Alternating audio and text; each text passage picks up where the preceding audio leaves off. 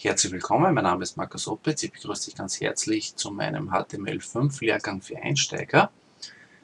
Wir wollen uns jetzt um das Einfügen von horizontalen Trennlinien äh, bemühen. Wiederum der Hinweis, weitere Informationen unter www.html5lernen.at. Hier kannst du Übungsmaterial dir näher anschauen und das auch nachlesen, was wir hier im Video auch noch besprechen. Gehen wir also in diese zehnte Lektion. Und der wichtigste Begriff, der wichtigste Tag, HTML-Tag für das Einfügen horizontaler Trennlinien ist der HR-Tag.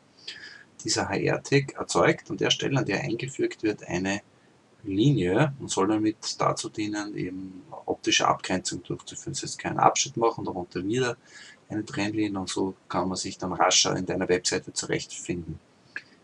Schauen wir wieder ein Beispiel hier an. Hier haben wir diese horizontale Trennlinie.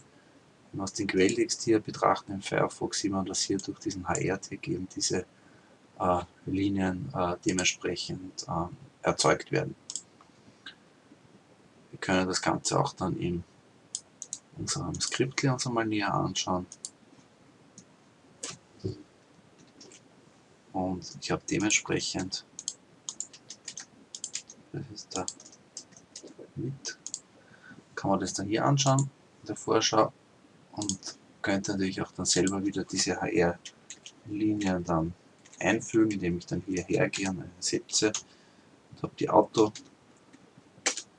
das Auto da Vervollständigung, könnte jetzt hier einen Text hineinschreiben und könnte mir den dann dementsprechend dann auch wieder einblenden lassen. Das ist also sehr, sehr rasch gemacht. Das Ganze wird wie gesagt wiederum innerhalb des Bodytext dann eingefügt bleibt mir der Hinweis, hier die Aufgabenstellung unten durchzuarbeiten, um das gerade ähm, Erlernte dann festigen zu können.